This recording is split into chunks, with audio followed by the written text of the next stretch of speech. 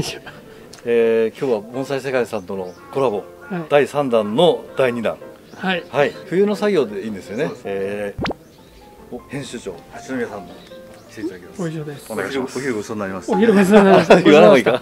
ごちそうさまでした。冬の作業ということで、えーこれは12月4日発売ですよね。ということなんで、まあ本来今実は一番いい紅葉の時期なんですけど、うんと葉っぱを落としてですね、12月4日に雑誌を買った方が、えーどういう作業をしたらいいかということでやっていくので、まずは葉っぱを切ってですね、枝をお剪定をしていくというような作業になると思いますので、シシンプルになると思います。じゃあまずは葉っぱをちょきちょきちょきちょき上の方から切っていっちゃいますね。はいはい。これは持ってる人たちは自然にそうそうそう。落ちるまで待ってていい。そうです。ね。12月4日ぐらいにはあもうお葉っぱ落ちてるでしょうという想定のもとにはい。やるっていうんで本来はこういうことやらないんですけどとりあえず切っていっちゃいますね。葉っぱを全部落とします。あちょうどあれですね。針金なんかもあるんで針金を取るっていうのもねありますね。うん。ちょっと始めちゃいましたけど上上からですね葉っぱが落ちますんで、えー切っていきます。はい。何気なく進めちゃいましたけど。はい、はい。持ってどのぐらいなんですかこの木？これはねあでもどうだろう。10年は経ってないと思うんですけどでもねこれ実は意外と安かったんですよ。ここで東樹園で。あそうなんですか？うん。あの生徒さんが。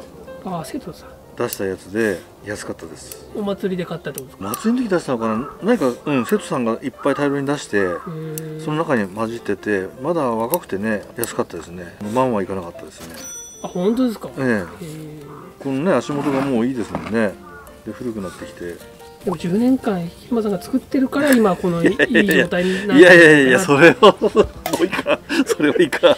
車さんがかなり枝を細かく。もう毎年毎年同じもう繰り返しですね。だから去年もやってこういう枝の剪定してるんでほぼほぼ実はそんなにないはずなんですよ。粘りだってほぼ10年変わ変わってるってこと？うんそうですね。日村さんが作ってる毎年そうですね。そういう意味じゃそうですね。粘りもそうだし枝は作ってきてますね。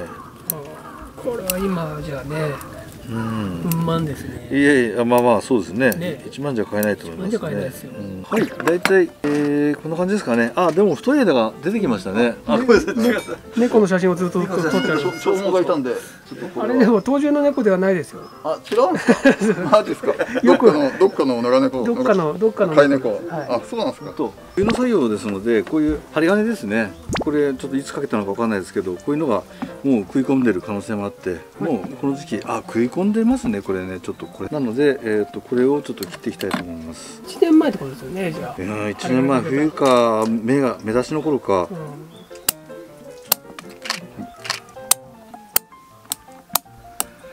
はい、じゃあ木としては、えー、とやっぱりこっち流れで作るべきだと思いますねあのこれが一の枝であるんで小白なんかですとここをちっちゃく作ってこれグッと下ろしてきて差し枝でこっち流れっていうのもあるかもしれないんですけど、うんうんまあ臓器はそんなにグッとね下ろさないんで木としてはこっち流れでいいかなと思います。はいということはまあこういう長いのは当然これ切りますけどこちら側を少しずつこう追い込んでいくという作り方になるっていうことですね。それと今ちょっと気になるのがこれですね。これどうすか？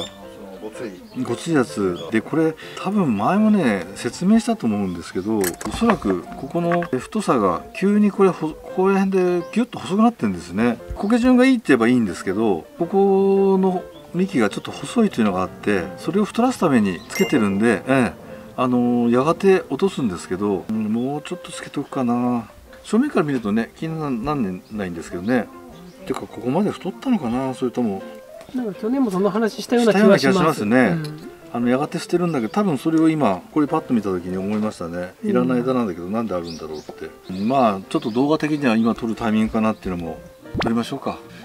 お任せしえ お任せします。うん、いややたらこれなんかデクノボーっていうかねあの考えられてないなと思ったんでまあ正直言って正面から見てそんなにもう違和感がなくなってきたんで、ちょっと切りますかじゃあ。いいタイミングだから。はい。はい。じゃあまずこの枝ですねはいはい、じゃあ行きます。バチン。はい、はい、であとこぶこぶ切りでですね。これで少しえぐるように、小ぶ切りではい、深く、はい深く深くやっておいてこちっも盛り上がってくるから、と。うん、そうですね。ちょっと多めに多めにやっちゃった感じかな。まずね、お薬をお薬を変な話巻いてきたら太るかもしれないですね。なるほど 臓器の場合はですね本当はカットパスタだけでいいんですね。これなんか肉巻きが良すぎるっていうあ結構話があってただ巻いてもいいんでちょっとこれをちょっとないのかな。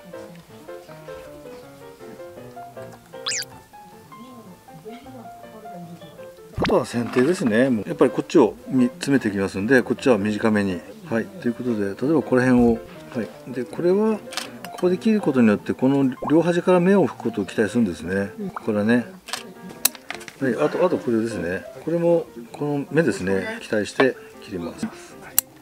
あとはこの辺もちょっと長いんで詰めていきますね。これもえっとこうこう丸い輪郭のところでちょうどここにちっちゃい目がありますんで、なるほどそしたらこれもちょっとごついんで縮めますね。ちょっといいですか？あと下から出てるやつ。はい。ちょっと気づいたとこからじゃあこれは枯れてる可能性があるのと今これに対してこれがありますからこれが生きてればマナーが取るんですけどこっちはちょっと上上上がっちゃってるしなくても切ります。生きてたみたい。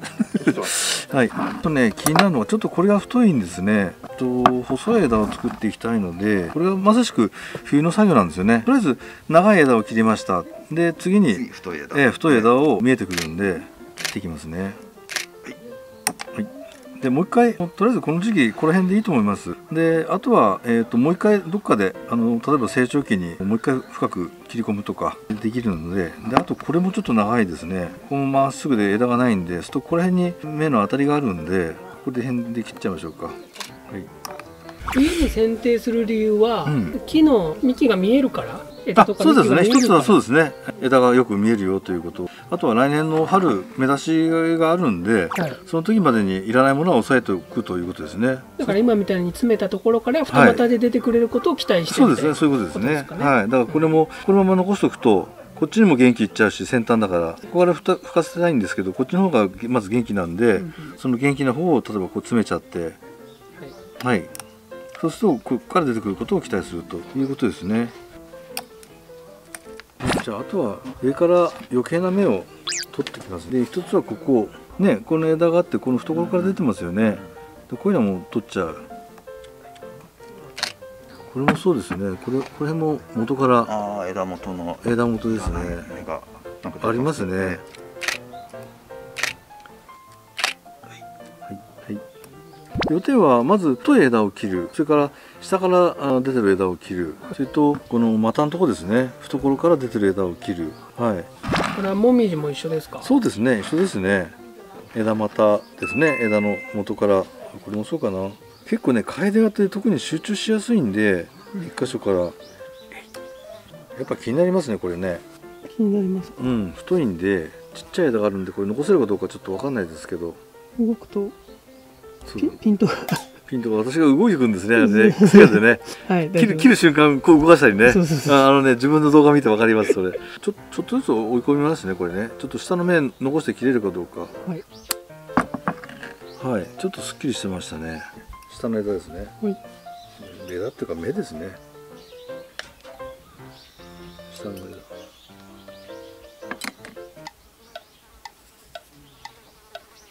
ちょっとあれかもしれないですね。え？動画的に。ちょっと同じ作業がね ずっと地味かもしれない。地味ですよね。枝を切るだけですもん切ねってる。枝切ってるだけだもんな。切ってるだけだしあんまり絵が変わんない変わんないですよね。動きがないですよね、ん。じゃあちょっとあとはカカットパスタ。剪定が一通り終わり。終わりまして。そしてカはい。ットパスタを、カットパスタで、え保護してる。保護すると。なんか防災世界さんつ伝えたいことないですか？あメッセージ。視せ聴っかく者さんに。YouTube でご覧の皆さんになんかあれば。ぜひ何かぜひ本を買ってください。本を買ってください。今書店でなくても直接も買えるんですか、あーそうですね。定期購読も受け付けておりますので、ねえ。ーぜひ購ぜひ読アマゾンとかも？アマゾンでも買えます。買えますよね。そうですね。いろんなあの盆栽鉢とか盆栽も買えるんですよね、あ木も鉢も売ってます。そこは Q, Q さんのところでもまあまあ。買えるけどってやつですねうん。道具は道具は？うちで買ってください。あ道具は？あ Q さんとこ道具とかも道具売ってらっしゃる売ってます皆さんに支えられてね。やってます。よねやっておりますそうですよね。動画終わっちゃいますそうですね。もうもうやることないですね。これで、これで、とりあえず、冬の作業、えっ、と、植え替えもないしね、長い枝を切る。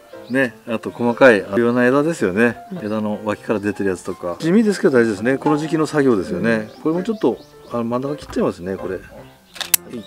はい。切りましょうか。これちょっと、さっきからずっと悩んでたんですけど、この枝を、このう先端に太いのがあるんで、はいここれはこっちに立て替えるっていうのもあるんですけどね、はいこれを残してこれ切るのもあるんですけどね、えうんそっちにしましょうかごめんなさいこれ太いから、はいじゃあこっちを残して、はいこっちを切っちゃいますねで、えー今言ったここにちっちゃい芽があるんで、これの上でとりあえず一旦切っときます。今回ははい。という地味な作業の じゃあ終わりましてはい。大事なことなんですけどね。はい、はい、そうですね。この時期にやせ休眠期にやっとかないあとそうですね。ええ迎えられる。そうですね。迎えた時に懐からの芽が元気に出てこないよってことですね、あくまでもこういうところの芽を元気にするために先端を切って縮めてでまあ太い太い枝はねやっぱどっかで切らないといけないんではい。というところですね。剪定するのにはいいいい時期だと思いますね、楓の剪定ですね。無事終わりましたんで。動画では10分弱。ち ょそうですね。っと短い動画かもしれない。ひたすら切るという単調な作業でしたけど一応まあ大事な作業なんでね。大ね。はい。12月4日ですね、はいはいえー盆栽世界遺産を見て、勉強していただければというふうに思います、両方、両方見てね。両方見て。両両方見ればなお参考になるかと思いますそうですよね。はい、ぜひ。よろしくお願いします。盆栽 Q さんもよろしくお願いします。はい、はいで盆栽世界遺産ははい。ますます売り上げを伸ばすために。いやいやいやいや。はい両方ね。両方。売り上げ伸びれば。はい、最高です。はい。はい。ありがとうございます。ありがとうございます。定価いくらですか千1155円。1155円で。税込みはい1155売ってますはい。値引きなしですよね。お店の人困っちゃいます 俺編集長知ってたぞみたいなね。はいということでよろしいですか？はい。はい。じゃあ以上で終わります、はい。ありがとうございました